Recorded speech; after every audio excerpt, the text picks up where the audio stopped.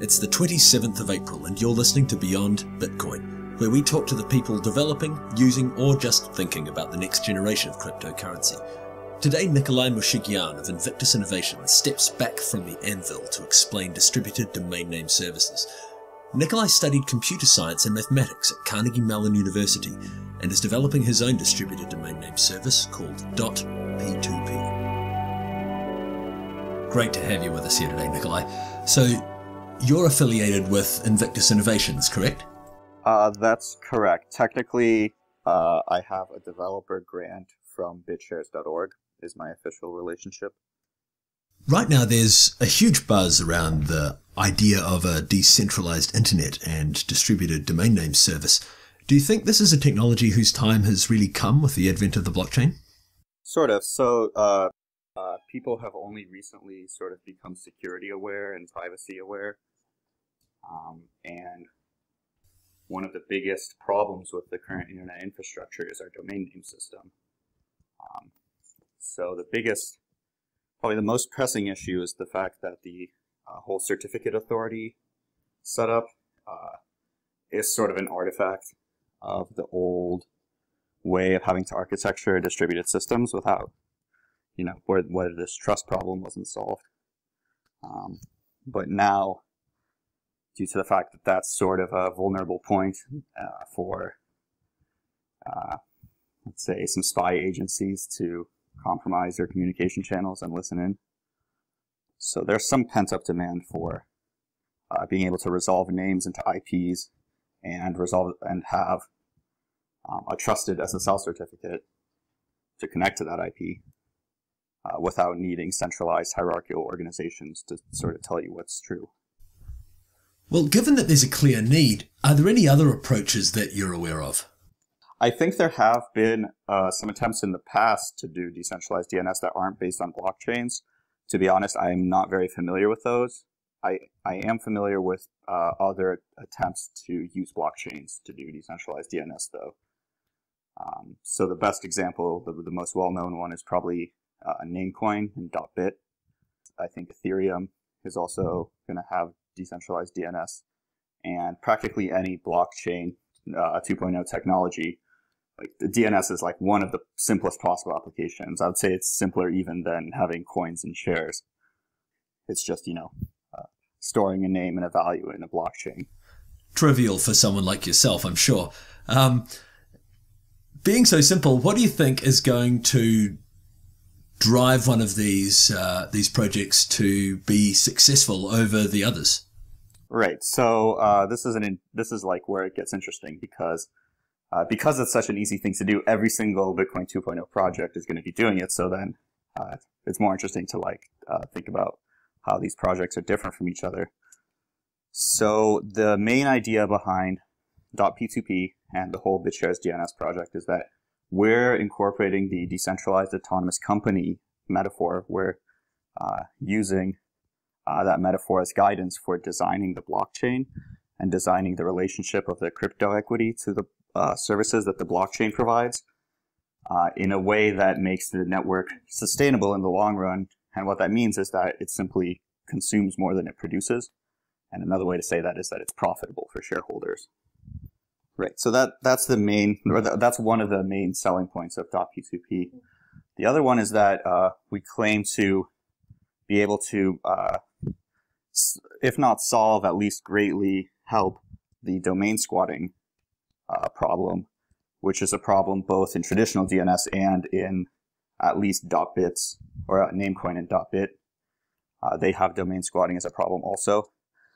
Ethereum they want to do something like honor existing domain name holders and sort of take a snapshot of the existing DNS and stick it on a blockchain, which is a different approach and not exactly what we're doing.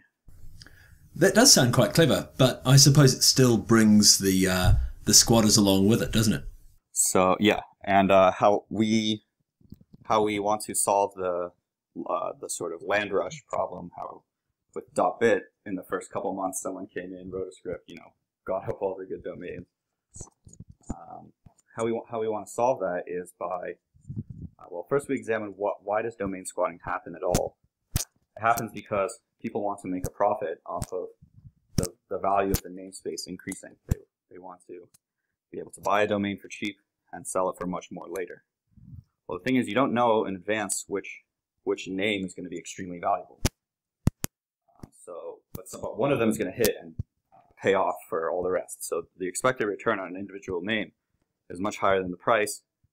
But for you to be able to consistently profit, you have to buy a ton of domains and sort of sit on them all and not let anyone else use them until you get your money back from selling one or two of them. So how we fix this is we want to make we want to incentivize people not to squat. We want to make it more profitable to not be a squatter than to be a squatter. So this happens by a combination of two things.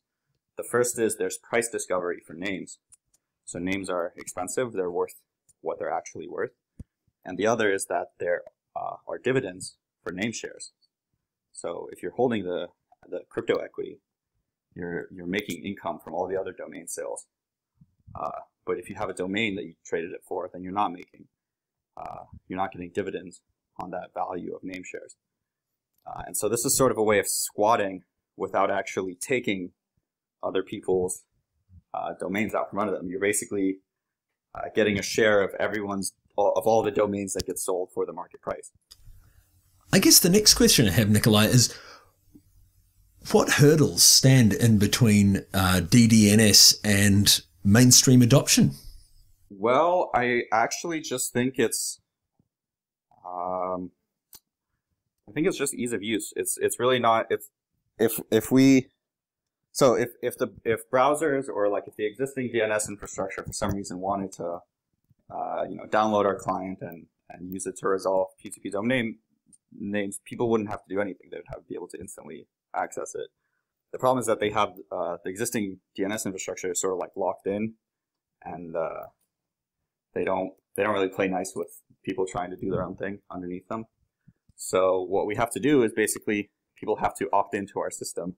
And what that means is they either have to manually configure their browser to point to uh, custom DNS servers, which have um, our P2P client on them, running on them. Uh, they can also, what we're hoping to do is actually make a browser extension, which one of the things it'll do is resolve P2P domains, but we'll make it attractive and make people actually want to get it by having it incorporate more useful stuff. I won't talk about it too much now, but those are the two main approaches. Just have people opt in, manually configure something, or have them install a browser extension. Hey, so what does it look like from the server side? Is it uh, is it particularly complicated to to deploy on that end? It's really it's really not. It's really quite simple. Um, so there's already uh, there's a we're working with a guy who wrote uh, software called DNS Chain, which was originally written for Namecoin, but now is generalized for any blockchain that does TLD resolution. Um, and it's really not that big of a, I mean, he, just one guy wrote it like in a couple months, it looks like. Uh, and that's sort of, so, so here, here's the setup process. You get a new VPS, like you, get, you have a computer, you install DNS chain on it, you install a .p2p client on it, you run them both, and then uh, that's your new DNS server. You point your browser at, at, that, and that's it. So it's really as simple as uh, taking, you know, uh, taking a DNS lookup request, seeing if it's about .p2p. If it is, look at the blockchain. If it's not, look at the old system. That sounds like that would be uh, really easily integratable. Mm-hmm. Yeah, you, you just have to slightly go out of the way. Like there, there's this just minor inconvenience that uh, um, you know browsers by default or actually, I don't. Yeah, I, th- I think I think it's not unreasonable to assume that we could actually convince people who host real DNS servers to start um, hosting, you know, our P2P nodes. Uh, once, you know, if, if there's enough momentum of people installing their own DNS servers just to get access to it. Presuming the success of .p2p or one of these other DDNS implementations, how will that change the experience of the internet for the average person? Well, this the the biggest difference is that you're not going to have, or, or, the biggest user visible difference is you, you're not going to have domain seizures, which means that the the regular internet is going to look much scarier. I think. Yeah. but also uh, you um, there's going to be more of an emphasis on people. So if you if you go to uh, bitshares.p2p or whatever, norm, normally when you go to bitshares.org uh, and you connect through HTTPS, uh, your browser will basically look at the certificate that it gets from the domain name server and then check uh, check that it's signed by a trusted certificate authority. And then if it is, you connect, right? Um, but under .p2p, the whole point is that we don't need these certificate authorities anymore.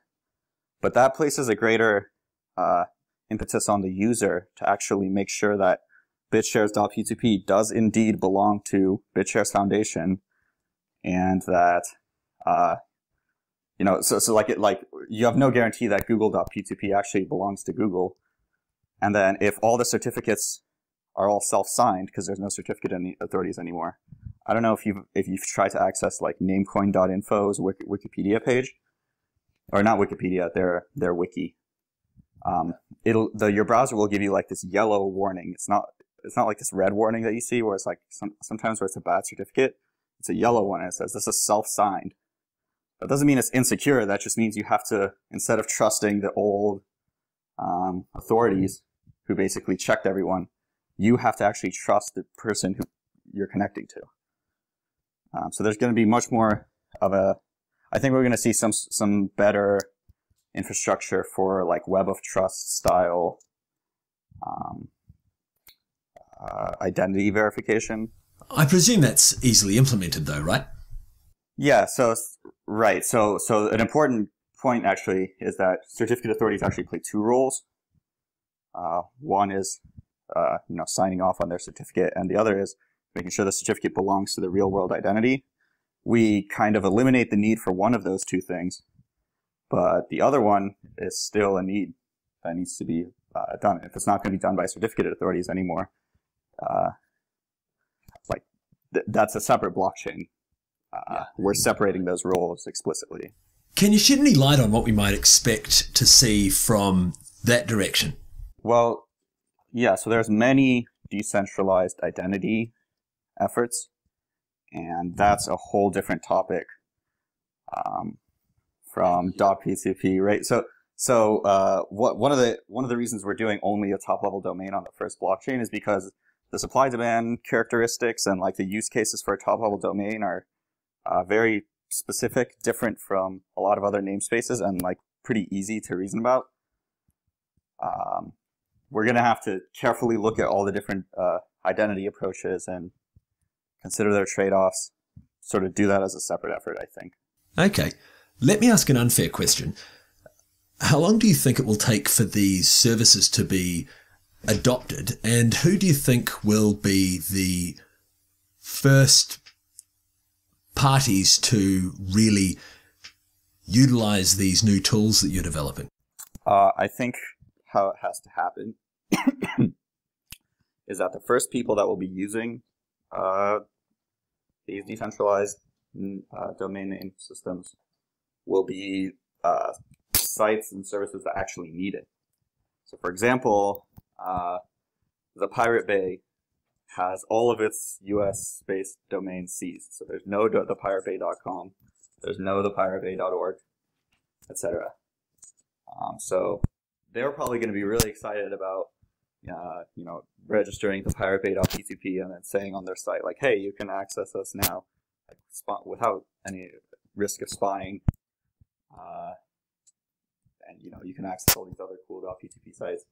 And it's gonna, there's gonna be sort of a tipping point where it becomes cool, sort of, because all these like edgy uh, sites that have to run away from government seizures are doing it, which is kind of what happened with Bitcoin, right? Like, it originally got popular with people selling drugs to each other over the internet.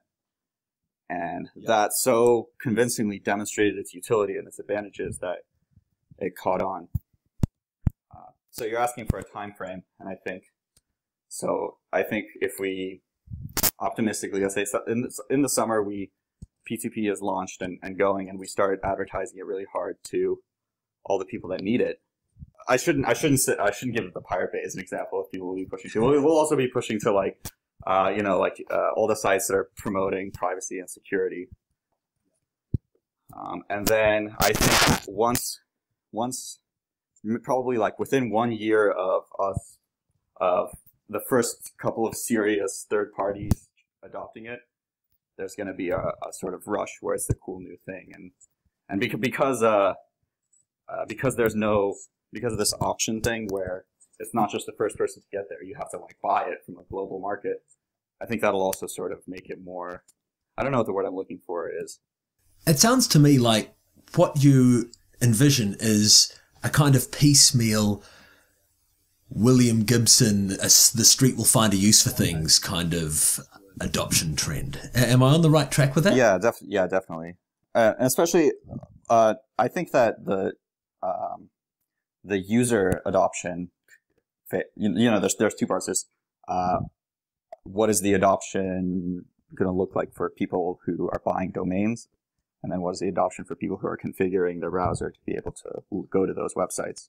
Getting that browser support seems to me to be the really big barrier that uh, that needs to be overcome to encourage adoption. Yeah, it's really that. Like, uh, w- my my dream is like uh, .p2p.io.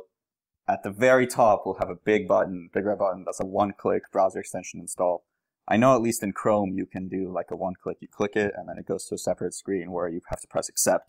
You press accept, and it's installed right there. So like a two-click install is like the best we can do basically in, until we get either browser vendors or the existing DNS infrastructure on board. You know, Nikolai, I did read that the Pirate Bay were implementing some method to resolve domain names based on Bitcoin in their pirate browser. Uh, it's certainly possible. So I think they, I, I don't know too much, so I might be wrong, but I think it's they are basically just building their own little version of what we're doing inside Bitcoin's blockchain. Uh, so it's just like I think .bit, but like on Bitcoin. But I'm not again, I'm not totally sure. But but uh, yes, it could totally integrate with anything they're doing. In fact, it would be completely effortless because I think their Pirate browser currently does let you access .com or whatever. Uh, so oh yeah, so by default, you know, all the brow- all they would have to do is add one of the DNS servers that supports .p2p by default in their Pirate browser, and then yeah, you can access uh, P2P directly. So the question is, okay, which is more which is more of a hurdle for the average user, downloading a special browser or doing a browser extension installation on their existing one? What about internet censorship in the UK, for example? So if, if it's simple, just DNS, uh, you know, they, they block certain domains or whatever, then yes, this completely circumvents that and you can't do anything like that. Um, they could do something like where they just, this is like getting really tyrannical, but if they just do like deep packet inspection at every, all, you know, every major node, internet node in their country, they can literally just filter specific traffic. Like, okay, we know that they're, we're not just seizing their domain, we know their actual IP address of their server, and any connection that's trying to connect to that server that's clear text, we're just going to block it. Hopefully, that's not something we have to worry about anytime soon. Uh, whereabouts is the project now, Nikolai? And how do you see it progressing? So the, sh- the short version is that the DNS is quote unquote ready, but there we want to do it right and make sure that we're gonna we're gonna take the time and ra- would rather learn from what happens with the XT launch than launching anytime sooner. So where should people go to find out more about the projects you're working on, Nikolai? The two the, the two places you should go to are bitshares.org, which is the parent project, which has all the different BitShares projects, and then uh, my project, which is .p2p, uh, is at .p2p.io. So dotp2p.io. And then the BitShares DNS pro- sort of parent project of .p2p, sub-project of bitshares.org is at bitshares.org slash domains. Right, right now, uh, .p2p and bitshares.org slash domains point to the same thing. And all of the sites I just mentioned are all works in progress. Hey, thanks, Nikolai. It's been great talking to you. I look forward to seeing how all these things progress. Okay, great. See ya.